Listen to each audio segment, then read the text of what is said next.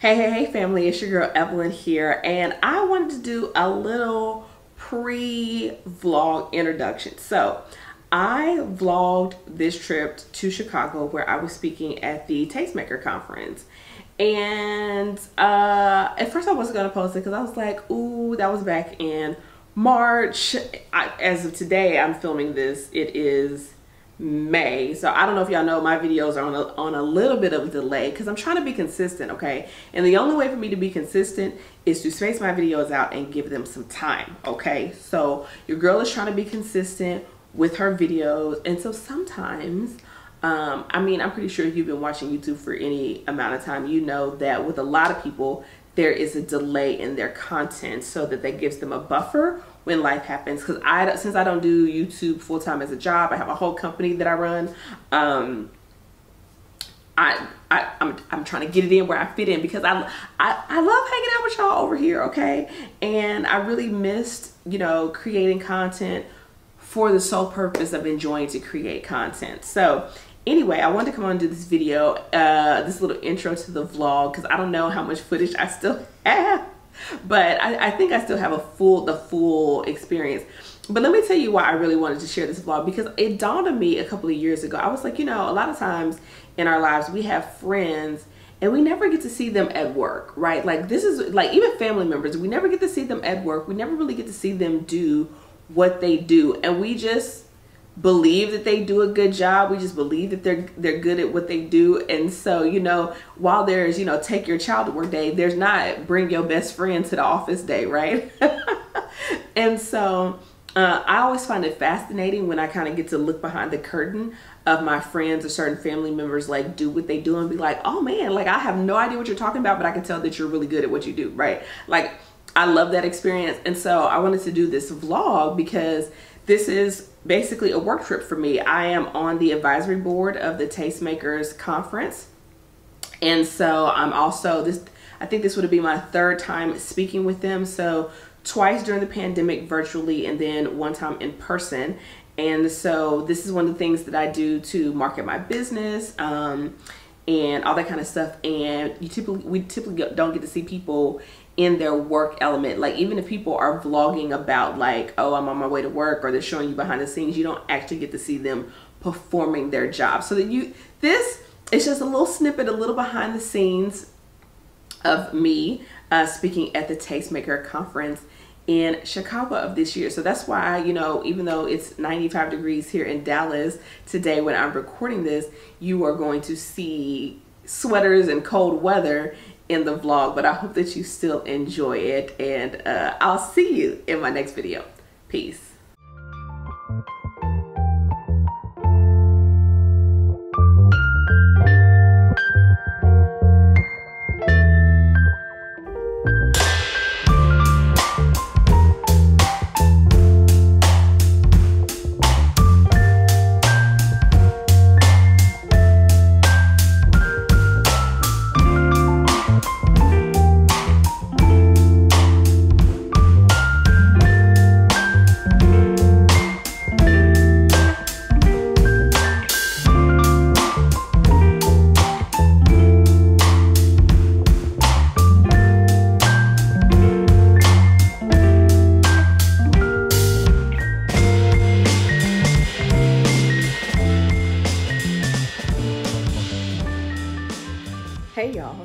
I just made it to Chicago. Um, figured I'd do a little vloggity vlog. I am speaking at the Tastemakers Conference and then I'm staying the weekend. So I just got to my hotel downtown Chicago and the view from my room, like I don't know if you can see the lake view.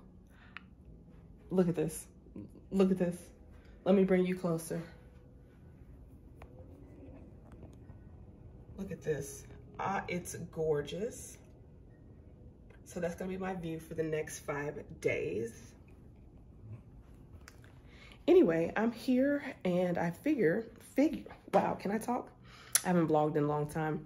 I figured I would give you a little tour of the room. So let me go back to the front door and start from there. Okay, so here we are. My luggage is still here. Don't judge me for all the luggage and I'm only gonna be here for five days. I have lots of activities. So let me flip the camera around and kind of give you the view. So when you first come in to the left, beautiful bathroom. Like, look at that. Shower. This is the one of those showers with the half doors, which is not my favorite, but hello, hello, hello. Okay. Lots of very eclectic artwork as well. Um, then come around the bend, have the closet. Hello again. It's a good sized closet. And then we have the bedroom. So this is a king room and little nightstand here, flat screen, desk, little chair, little bench, and, and another like side situation.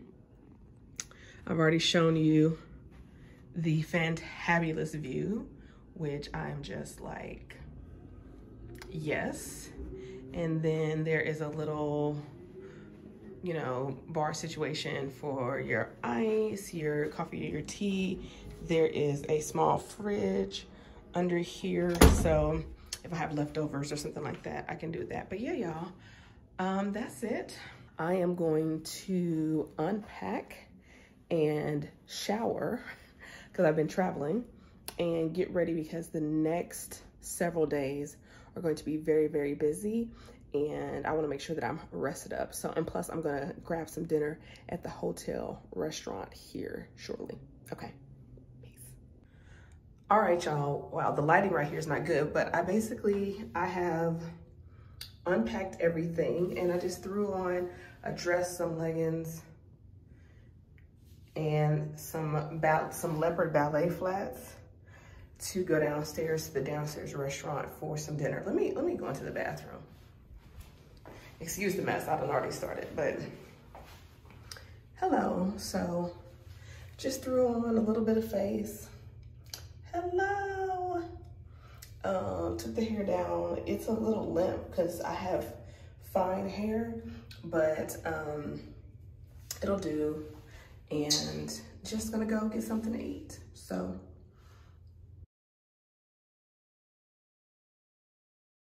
Good morning. Listen, I don't have a lot of time. I'm running late. I'm on my way there, but wanted to show you my face of the day. Y'all, my makeup was looking crazy yesterday.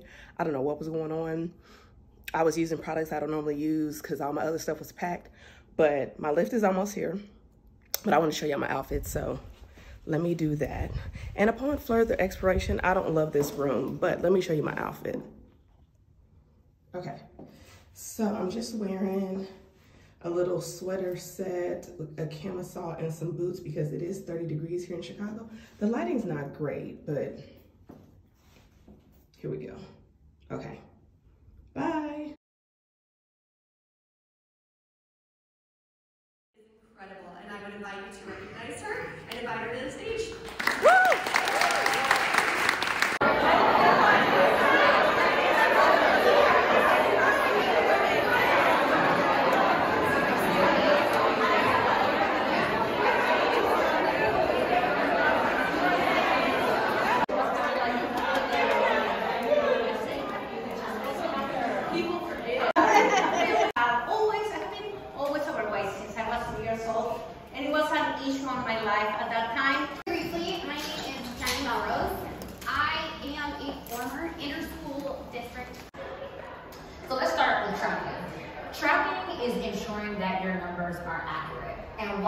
important. The first thing is there's a lot of fear around finances. People get nervous about it. It makes them feel uncomfortable. And if you know what's going in and out of your account, you have a lot less fear.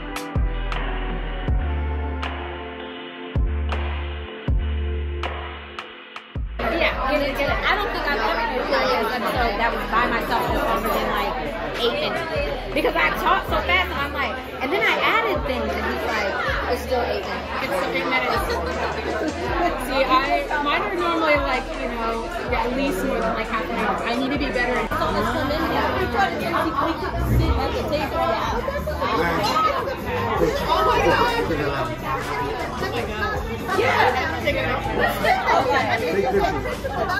think that you're not sharing this. Even like literally use my butt. I don't care. Don't be mean to me. I'm gonna get I can eat all kinds of good.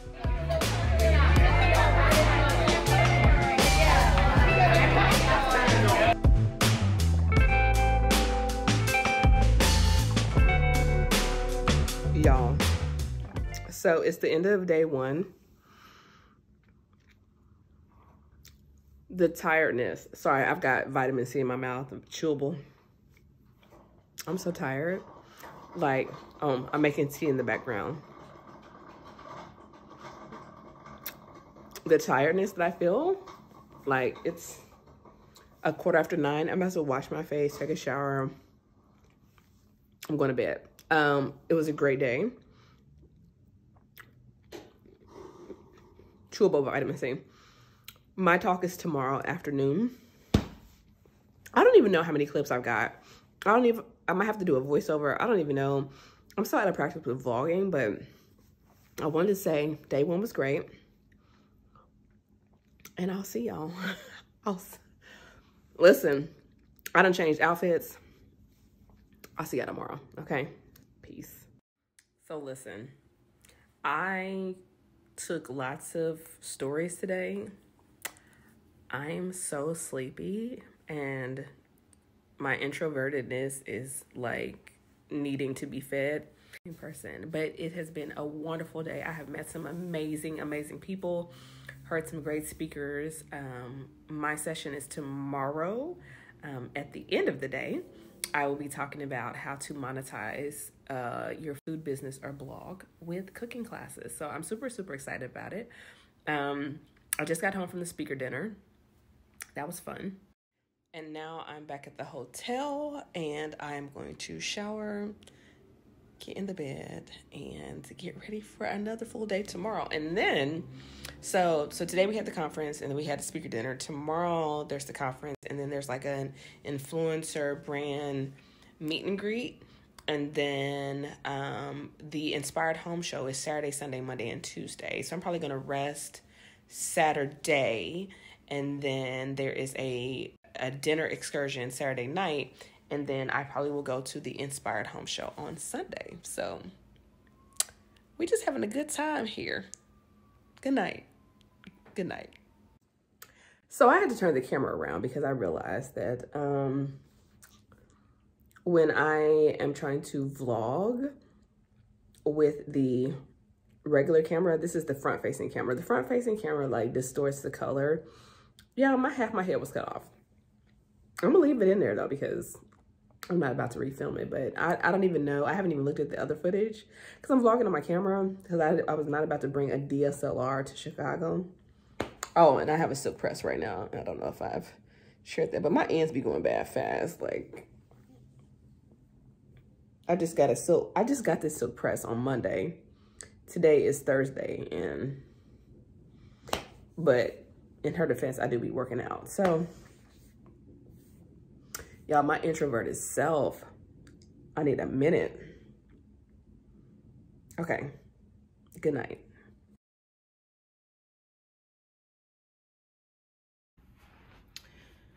Good morning. It is day two. Oh, I've got the good morning voice. Um, look at this view. Like, look at the sun. I don't know if y'all can see the sun just is shining. It is, oh, there it is. Um, it is gorgeous out here. I slept in today um, because yesterday was a long day. I think I have some clips. I don't know, but I'm about to get dressed. My presentation is today.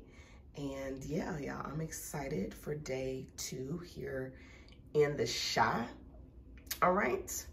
Um, listen, if you are from Chicago or know it well, leave me some suggestions about great restaurants to try the next time I'm here. Leave it in the comments below.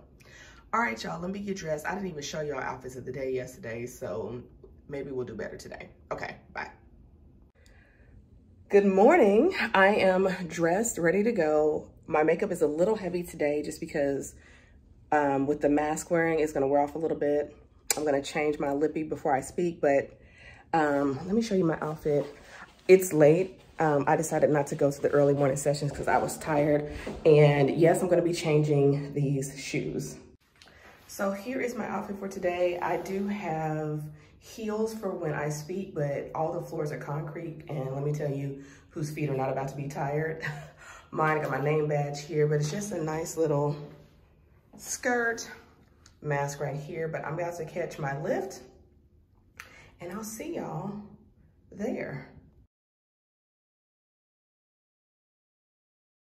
Oh, what they're doing is they're updating seven posts a week instead of three. I mean, maybe they are doing that, but it's so much bigger than that, right? Because anyone can update seven posts a week. Okay, so the first shift is that they have moved from thinking that there is one right way to build and grow a blog to following the path that's right for them. Because when I look at these seven-figure bloggers and when I talk to them, I mean, one of the things I you know, three years, you could be making, you know, fifty uh, fifty thousand dollars as a as a manager. And I'm like, I want to go back to Macy's. I want to I want to work for myself. And um, what was it? It was last year where I was able to make that fifty thousand dollars in just a couple months. And I said, you know what? This this joke right here, I should have taken that job at Macy's. But a lot of times what they leave out is their pre-story. And I think uh, the pre-story being like, for Lindsay, she was an educator. Uh, for me, I was really interested in photography, uh, business. I would listen to podcasts. Uh, I took the job at a, non- a nonprofit to do the IT work. And so I had like three or four years of kind of tinkering with websites and, and, um, and building. And that kind of led up to this point where it's like, hey, maybe we should start this website called Beyond. So another encouragement is for people to think about like, what are you coming to the table with? Your pre-story that you can fold into even like the military. It's like you had a work ethic and a mindset that came from that that you could deploy against your early stage um, work that you were doing.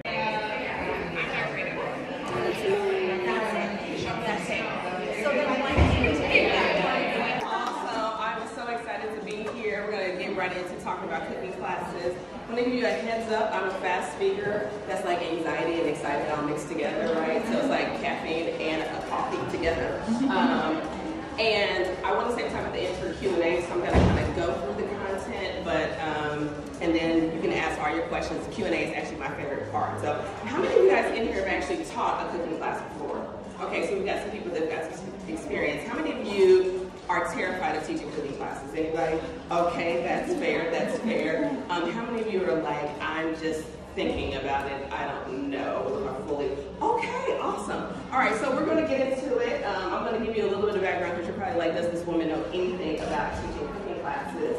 And I do. I've been teaching cooking classes for 13 years. Um, I did my first online cooking course in 2010 before Instagram, Teachable, Thinkific, Kajabi. So there was no platform for me to be able to put my course on. It was very MacGyver. Okay. I've spent several years teaching um, and running cooking schools for Sur Table. I've taught at Williams Sonoma. I've done in-person, online, corporate membership, any kind of version of classroom with kids people with disabilities, right? So any kind of class that you're thinking about teaching, you can ask me questions about that. Um, I've also spent some time as a personal chef, a caterer, things like that. And before that, I was an engineer. So um, you're going to see lots of little formulas along the way. So as you heard today, people talking about the pre-story, all of my things have acronyms and things like that because I love a good formula. So. Um, and collectively, online and in person, I think I'm well past have, having taught 20,000 people. So I've definitely got my 10,000 hours in. Woo! All right. So what we're going to cover today, we're just going to talk about what it takes to have a successful cooking class business. If you want it as your sole version of revenue generation, or if you want to add it to what you're already doing, I think it's a great add-on. And we're going to talk about how you are closer to teaching cooking classes than you already think, okay? And then we're also gonna talk about how do you get repeat customers and with all of these content food creators out there and bloggers, how do you make your classes stand out? Because if everybody's teaching how to do, what is it, the custard toast, the yogurt toast that everybody's talking about all weekend, like who's gonna come to my class on that? And then, and so making your classes stand out. So I want to start with this. There are millions of people who spend more time watching food being cooked on television than they actually spend cooking themselves. And this quote is what made me start teaching cooking classes because I was like, well, if I can get in front of them and give them a more interactive experience than them watching the Food Network, then I can charge them for that, okay? And I'm like a culinary business instructor, so if you hear me talk about money a lot, I love it. I want you guys to make all the money. I'm not squeamish about dollars, so you can ask me all the questions. Okay, so why cooking classes? This is this is why it's my favorite thing to talk about. How many of you have less than 10,000 Instagram followers? Okay, 5,000, less than 5,000. Okay, how many are hanging out with me and you're like at 3,500? Okay, and so you're thinking, can I work with a brand if I don't have all of these followers? I love that you can do two cooking classes because you can do them in a myriad of ways that it doesn't really matter what your blog traffic is, it doesn't really matter what your social stats are, okay? Also, you don't have to feed that algorithm black hole, right? So how many times have we gotten like content burnout, right? You're just like, I just need to take a break. I've been cooking, cooking, cooking, cooking, cooking, cooking, washing dishes, and more dishes. Anybody? Okay, so what I love about cooking classes is you can actually create one bank of content and use it over and over and over and over again. So for example, I've written over 200 cooking classes in my career, but I haven't written a new cooking class in over three years, and I still sell them. Okay, so this is like the true definition of evergreen content, right? I'm, I'm selling classes with menus that I developed in 2012. Okay, and they're still they're still selling. Okay, and here's my favorite piece, particularly for a conference like this, is you probably already have the tools. Okay, how many of you guys have a, a decent camera? Right, a webcam, some kind of live streaming software, Zoom, Facebook Live, right? Okay, you have the tools because you already mm-hmm. have all the kitchen equipment, and I already know that you can cook. Mm-hmm. Okay, so you're halfway there. All right, so what's possible with cooking classes? I kind of talked about this. The biggest thing, like the title of my session, is you can work less and make more. I remember the first time I did a cooking class, and I earned more in that one cooking class than I used to earn in a month. Mm. Okay, and I was like, wait a minute, this is the thing. Are you telling me I can work for four or five hours between prep, cook, and cleanup and earn my monthly salary? Okay, so I was sold from there. Like I said, it's another way to earn income. It's another way to work with brands, right? So when everyone else is selling original content creation, you can say, hey, I know that it's hard for you to bring your products to life and create these experiences, and so you can offer a private cooking class to a brand and maybe some of their um, clients or maybe some of their customers or maybe some of their fans or on their socials, right? You can cook live on their socials. There's so many different things you can do. And so I work with a lot of non-food because the recipes that typically will rank for SEO are probably actually not the best kind of recipes for a cooking class. People want something a little bit more advanced. They want something a little bit more interesting. They want something that you can teach them steps along the way. So there's an art to writing a cooking class menu. There's an art to teaching a cooking class. And then there's the business side of it okay, which is what format is going to be the best for my business or my blog. How do I want to grow this? Who's going to be my target audience? What's going to make me different? And um, how do I want to structure my classes? And then the last one is the management, which is dealing with the difference between um, teaching, like making a really good cooking class and being a great cooking instructor, is that you have to know why people are taking a cooking class.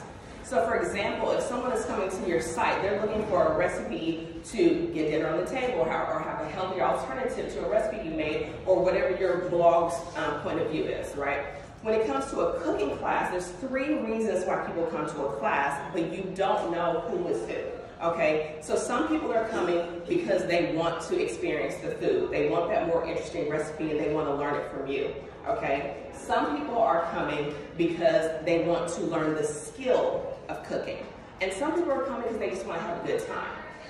What tends to happen is if you don't know who's in your audience, you will skew your class. Either it's all fun very little education, and the food's pretty good. Or it's way too educational, people are bored to death, right? But they learned something, and the food is pretty good. Or the food is pretty good, and they're just not quite sure what happened, okay? So knowing why they so knowing why they're there is very important. And so when you start doing cooking classes, you will find out that it goes from being really, really lighthearted, that this is a date night out for a couple, or this is a company that wants to reward their employees, to people who I've had students in my class who were aging and um, a spouse died and they never cooked for themselves before and they needed to learn how to cook. Or I've had students who were autistic and this is the only thing that they could do and so their parents would bring them as adults to my classes. Or students who were losing their memory and so they needed something to do repetitive to kind of keep their dexterity, right? So you're going to get the gamut uh, when it comes to cooking classes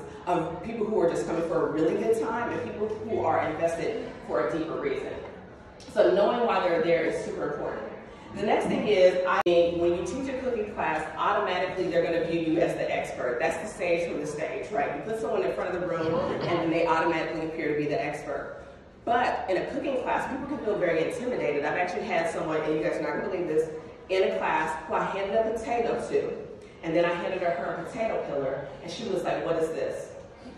Okay, she didn't know how to peel a potato, had never seen a potato peeler before, right? And so you have to, that delicate balance of, oh my gosh, you've never peeled a potato ever, you know what I'm saying? Uh, but being a, a, a guide by their side, right? Because you, you are more advanced than they are, whoever's taking your class 99% of the time. I mean, you're always to have that person that thinks they can out teach you, but yeah. we disregard those people, okay? It's like the people that come on your side and like, you should have did this, and it's like, well, then you, you period. Um, but you want to balance between being a guy by their side and a sage from the stage, and that's the, when you put yourself in front of people in a class, it's very different than being behind the recipe, right? So it, it, there's a lot of people skills now that come back from experience with the mom if you're teaching for toddlers. You can deliver this in an on-demand course that she can take, um, you know, early in the morning when the kids are still sleeping, or late at night, or that brief moment in time when she asks. It's like a one-off experience. I think there's an excursion tomorrow morning where there's a cooking class, right? Like you guys are gonna go, gonna have a great time. It's one class. I think of a course as like an extended series. So there's there's multiple points. So my my first cooking course, the one in 2010, was called Spice Up Your Life. I know, so original. Um, and it was all about learning how to cook with spices. So not only was there the cooking element, but there was also like PDF documents about how to make your own spice blends, how to store them, the difference between herbs and spices, why you shouldn't put them by the stove, all these different things, in addition to the actual cooking tutorials. So I think class more experience, course obviously digital. Are you guys familiar with Patti LaBelle? Yeah. And, and, and, her concerts, she always comes out of her heels. Okay, so that's what's happening right now. I just I just want to let you know that. Okay, we're keeping it real at the end of the day too. Um, pricing your cooking classes. Okay. So you're not gonna like my answer. So when I'm teaching a cooking class, I'm going to tell a story to answer your question. When I'm teaching a cooking class, a lot of times people will ask me, how long do I need to cook it until it's done, right? It's in your recipes and all that kind of stuff. And I never give an exact time. I always, I always say, till it's done. and the reason why I say that is because I tell them, I don't know what your oven or stove is like, I don't know if it's calibrated. Is your steak one inch thick? Is it half an inch thick? Was it room temperature? Was it cold? Did you preheat your pan? I don't know, okay? So when it comes to cooking classes and courses and demos, there's a huge range. So if you've ever been to like a Table or um, when Whole Foods used to do cooking classes or a Williams Sonoma, you're probably going to see anywhere from 35 to 100 plus per person for an in-person experience. But you also have to realize that that's not their main revenue model. Okay, that's an add-on. They're actually using those classes to sell their products, right? And they have quotas for that when you get to courses, you know, the sky's the limit depending on how robust the course is, and that also takes into consideration who your audience is, right? So while I may be able to charge, um, you know, let's say $300 for a six-week course, right, and then sell it over and over again, um, if your audience is to uh, uh, audience who likes the coupon, they may not want that. When it comes to corporations, however, I did a flat fee up to a certain um, number of participants, and then I went up from there. And that was just based more on the quality of my work, and that I've done this for so long. So, you know, I wasn't doing a cooking class. Um, I would say this, I had four different types of cooking classes. Some of them I was just talking about food, there was no food involved, and I didn't, I, I didn't start less than 2,500 for 45 minutes. So, and it, it went up from there. I mean, I've been paid as much as seven, eight thousand dollars for a 45 minute demo.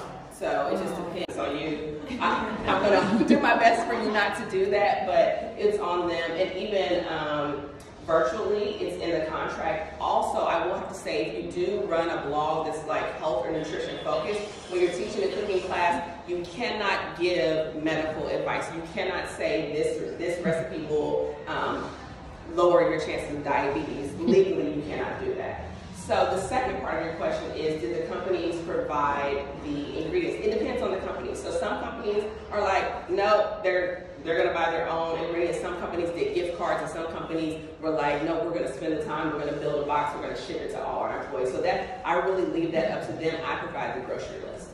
Um, small side note, in the state of California, any rental kitchen space that you use or any space that you rent will require you to have insurance. Yes, it will.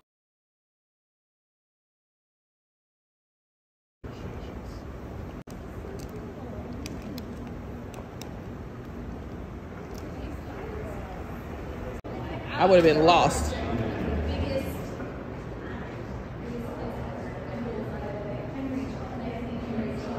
Hi Liz, I'm Evelyn. Nice to meet you. I know, and I'm over. I just want to give y'all a sample of the home show. Look at this.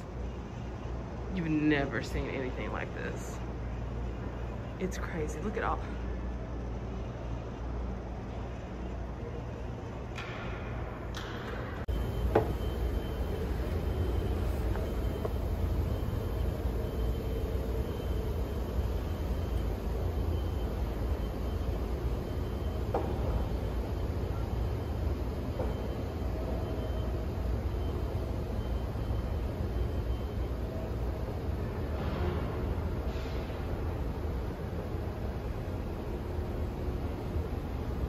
I mean, it's honestly super easy, and the you can, the pod itself has everything inside it already, like yes. the seeds. All of our yeah, seeds are and it's basically kind of Yes. miniature so basically yeah, the tomato, tomato It's, it's very easy for me to promote this because I use it. sustainability element to it. Yeah, It's just, it's uh, it's kind of close to our heart in that sense.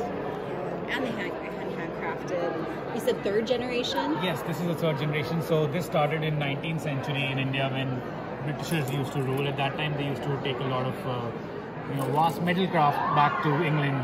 Um, so before the before that, uh, they we- they used to make swords. So in that time, so it's all metal craft. So they these folks are.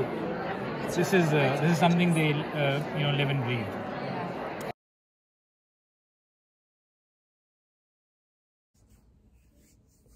Good morning.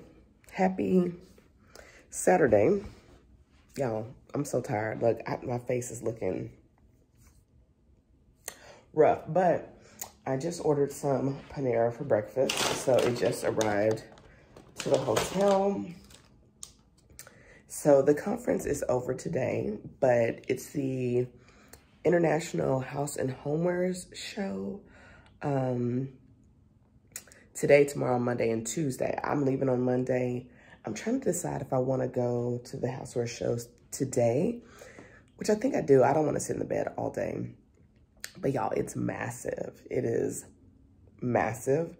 Um, Martha Stewart is doing a cooking demo today, so I, I, I might check that out. And then Tia Mowry is doing her cooking demo tomorrow. But I, I like I was there last night for the Influencer Expo. It's it's huge. It's huge. It's huge. It's huge. Um, I mean, I think they said McCormick Place might be like one of the largest convention centers in the United States. And I've been here before, but I haven't been here since like 2012. So yeah. Um, Okay, I'm gonna eat because I'm hungry and I will hopefully see y'all at the Housewear show. Well, you know what I'm saying, like take y'all along. I got the good morning voice. I haven't talked to anybody today. Okay, bye. Okay, so y'all, you know when somebody rubs their face, they're tired. So change of plans. I I was sitting here thinking about how it's it's a quarter after 10. I just finished um, my breakfast and I ordered some stuff from Target that I needed. Um, shout out to Instacart for that. I mean, they're not sponsoring this video, so maybe I shouldn't shout them out, but I have another dinner tonight as part of the conference experience.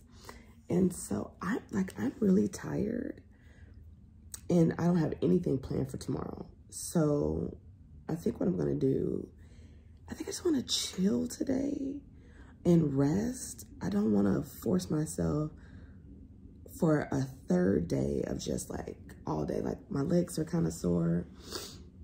Um, it's just been like nonstop.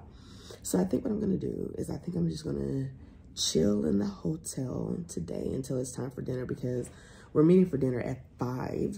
And so I'll probably start getting ready at like three, maybe 3.30 so I can Uber there and all that kind of stuff. And then it's gonna be a whole evening. So like, I just, I just need some time to myself to introvert a little bit. Um, and then I'll go to the home show tomorrow. And listen, the home show is so big. You can't even get through it. Even if I, even if I went all day today and all day tomorrow, you can't get through it.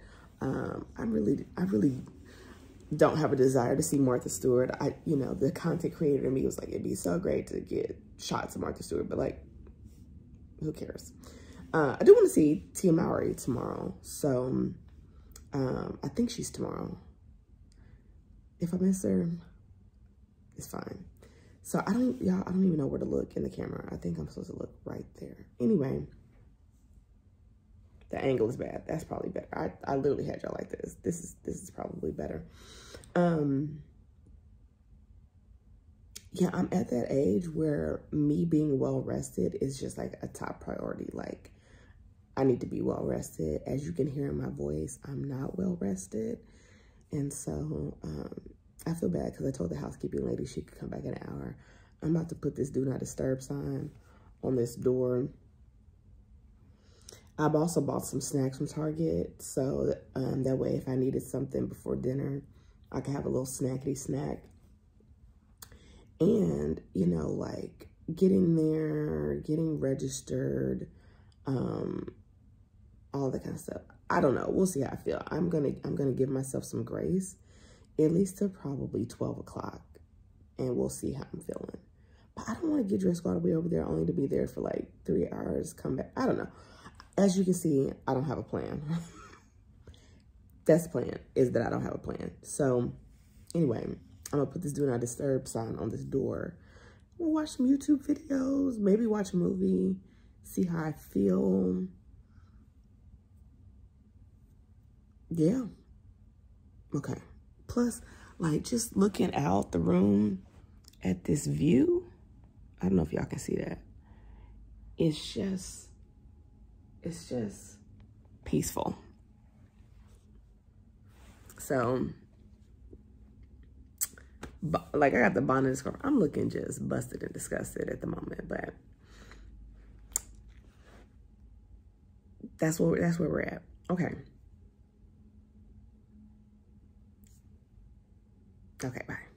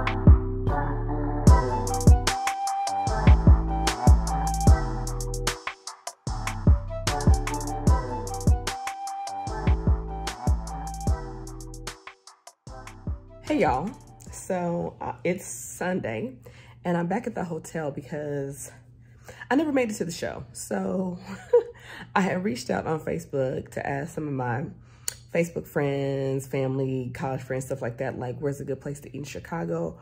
Only for some of my college, some of the people I went to college to be like, oh, we having a get together for somebody's birthday. Why don't you come through? So that's what I did. So I just got back from that. I was there for probably about three hours. We ate, we danced, we had a good time. I don't know if I have video footage because obviously there was copyright music, but I do have pictures. So I'll probably insert those somewhere in here. But I was gonna try to leave there and go to the show. And I was like, I, I'm, I'm good. So I'm back in. I have changed clothes. Like I'm in some loungewear. Like those are actual leggings. That's not me being naked. uh, this actually has bottoms to it, but I wanted something a little warmer since it is cool and back cold again today.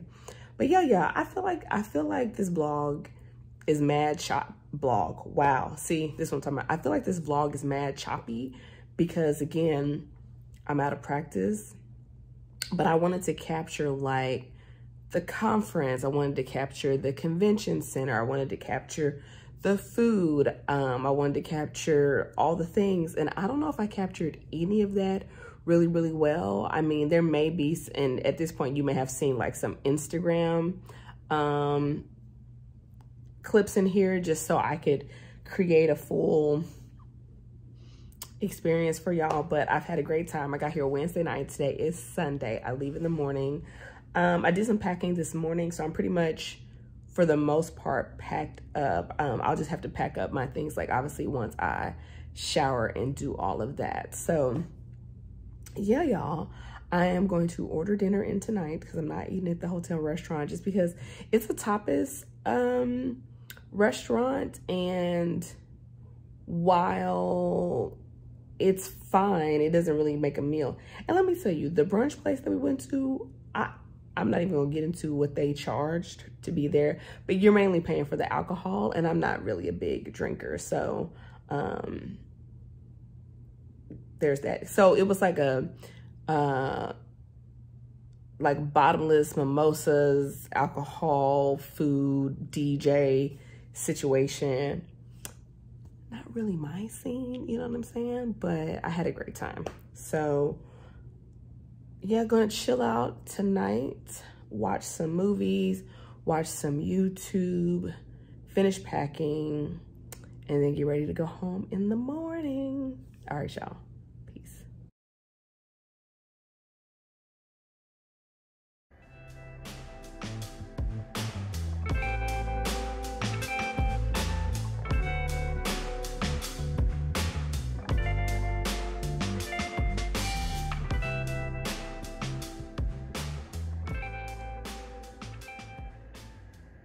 So I am getting ready to check out.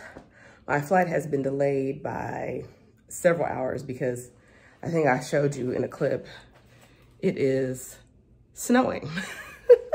so we've gone from days of 30 degree weather to 70 degree weather to now it's snowing. Um, it's one of the things I remember about the Midwest, being a Midwest girl myself, but I'm about to check out and head to the airport. So